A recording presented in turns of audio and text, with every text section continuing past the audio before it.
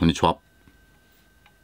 今回は東京マルイのデトニクスをはいボブチャウ風にね、えー、個人の方がねはいメルトダウン加工して、えー、カスタマイズした。それをね私あのオークションでねえ譲り受けまして、え、こちらのねはいブルズアイターゲットへのね採取者の結果をねえ、中心にご紹介したいなというふうに思っております。前回紹介の動画でね、はい、あの、簡単なね、試写はやりましたけれどもね、今回ね、えー、実写性能には定評にある、定評のあるね、丸井さんのね、銃がベースですから、果たしてこのチビタがね、どのぐらい当たるのかなんていうのをね、家族でしっかりとね、遊んでみました。で、昨日のサンリボに引き続き嬉しくってコブラです。はい。お見せしたかったのはサイズ感すごく一緒でしょっていう感じで。コブラ51年ですから、デトニクス70年代ですよね。となると、こう、20年の時を経てね、まあ、オートとね、はい、リボルバーの差はあれね、こんな感じでね、仲良く同じぐらいの大きさだった。たまたまね、あの、それを発見してね、これはやっぱり仲良く並べてやるにはいかんということで、はい。まあ、子供と一緒ですね。嬉しくっていつも隣にいてにぎりにしたいみたいなね、えー、ところでね出させてもらいましたさてえ、っと前回のね紹介動画もちろんね、えー、動画説明欄に貼らせていただきますけれどもはい、えとりあえず軽くね外観のね、えおさらい紹介。絶妙なんですよこのメルトダウン加工がやりすぎず。はいポイント。特に私この辺りが非常に気に入っておりますね。前回紹介の時もここしきりに撫でていたと思いますけれども、はいね、この辺までプリプリっとこうねうまく丸まっていて。そしてこのねステッピング加工ですね。ここ素晴らしいですね。ありがとうございますって感じです。ものすごい握りやすかったです。こちらもです。はい。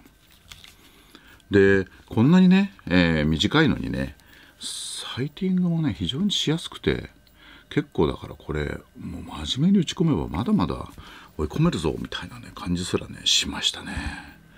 はい。で調子も良くてですねガス漏れも一切してないですね。はい。で軽快にね見てくださいこの。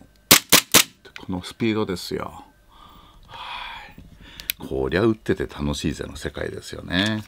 ただ残念ながらね、一つだけ、マガジンがね、所詮長さ知れてますからね、えー、小弾数はそれなりでしたけれども、まあ、それでもね十分このね割とねがっちりしたねマガジン。すごくね、えー、重みもあって、はい、楽しかったです本当にああとここもね、はい、こういうふうにね綺麗に加工されていますねそういうね器用な方のね作品をね、え譲っていただけるっていうのはいい世の中になりましたね昔はねそんな物理的に知り合えなかったですからねでふきふきという感じですで箱はねオリジナルの箱はこういうねえマリーさんのこういう箱ですよね。はい、ね。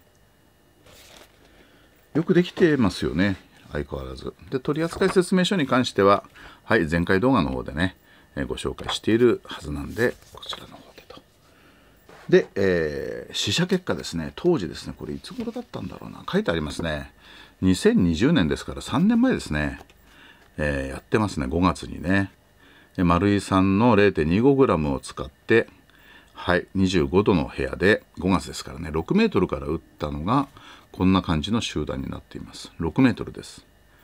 ということはって感じですよね。そこそこいけそうですね。この延長でいけば7メートルでもここに入りますからね。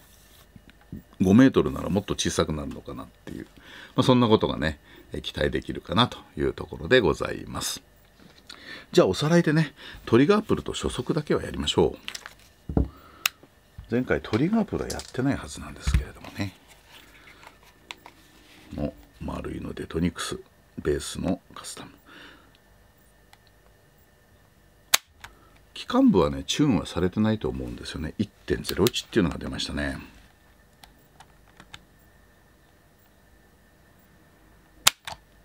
ほら失礼。もう一回だけやりましょう。1.00。まあ、そのぐらいですね。トリガーのやっぱりね、えー、落ちるタイミングはね、ここやっぱガチッと、もうここで遊びがもうほぼないです。で、さっていう感じで、ギャギャっていう。うん。ちょっと待って。やっぱりね、ずっていってパンと落ちる感じですねただねだからといってねあの引っかかりはないねこんな感じでブレずに打つことができますじゃあちょっとね初速の方ももう一回測り直してみましょうもう9月も半ばですけれどもね。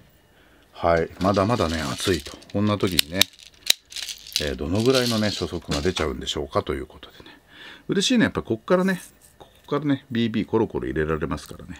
丸井さんのやつってリップが硬くてリップからパチパチって入れていくとねなんか BB がね変形しそうな気がして僕はいつも下からねプルプルっとこう入れてますね。なかなか並べるのがね大変な時もありますけれどもね。そういう時はね爪楊枝とかでね少し引っ掛けてね。はい。いいですね。はい。すごく楽しいです。今回このサイズ。え？こんなもんすか？0.35それはないでしょ。うねえ。まあそれでもいいんですけどね。あでもそんなもんかもしれない。あ本当だ。こんなもんなんだ。0.37はい。そうでしたそうでした。はい。今回ね打ってて思ったんですよ。5メートルの時はそうでもないんですけど通常あのウエスタームズのっていうか、まあ、普通の他のガス風呂なんかで行くとねバンって打った時にあのうちの廊下に音が響いてターゲットにカチンと当たった時の音がねあんまり聞こえないんですよ同時なんで。今回のね特に7.5メートルとしたらパンって打ってからねしばらくしてポコンあパチンと音がするんでね初速あんまりないのかねなんて確かに言ってました。はい。だからこんなもんだと思います。はい。ちょっとね0.38ですからねあのえー、18歳以上用のねエアコッキングよりちょっと強いかなぐらいのものでした。はい。ますますね愛嬌出てきますね。楽しく遊べるでしょう。はい。じゃあ試写結果見てみましょう。おさらいでもう一回見ますと、えー、6メートルからね集団ね、えー、2020年の5月にはこんな感じでした。はい。今回家族でねこのブルズアイターゲットに打ち込んでみましたよ。見てください。こんな感じになりました。はい。奥さん1個外し2個外してますけどまあこんな感じですね。私の見てください。やっぱり期待通りですね。123ここ2つですからね。2つですよこれ。ね。こんなに集まっちゃった。でせがれもこんな感じ。1個外してますね。これ多分ですねえっ、ー、とここここにねあのターゲットの、えー、フレームがあるんですけどそこに当たって跳ねたんだと私は思います。下に行き過ぎてね。はい。じゃあ7.5メートルだとどうなるんでしょうかっていうとね。かみさんこんな感じですね。私見てください。7.5メートルでもこんなにいってますよ。ほら。これ6メートルですからね。これの半分ぐらいのとこにやっぱ集まってるっていうことでこれなかなかですよね。でせがれも頑張ってますけどまあこんなもんですね。やっぱり思い入れが違いますよね。